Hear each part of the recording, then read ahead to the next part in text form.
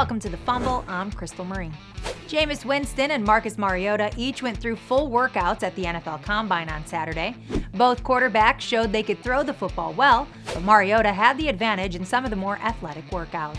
Winston ran his best 40 yard dash in 4.97 seconds, in addition to a 28.5 inch vertical and an 8 foot 7 inch broad jump.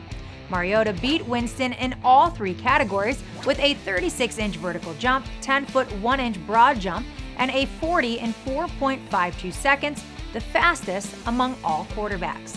Mariota's 40 yard dash was actually faster than 10 of the wide receivers that participated. Mariota showed off his athleticism on Saturday, but Winston is still the projected favorite among most draft experts. The NFL Combine is usually just a distraction from how well players actually perform on the field. Winston seems to be the most NFL ready, even with some of his off the field issues still fresh in people's minds.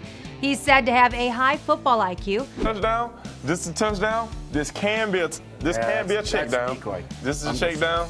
This is a check down. All right, not bad. Not bad for a 21 year old kid. Yes, sir.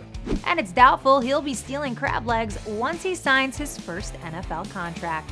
Just to give you an idea of how unimportant the NFL Combine is, here's Tom Brady's 2000 NFL Scouting Combine highlight.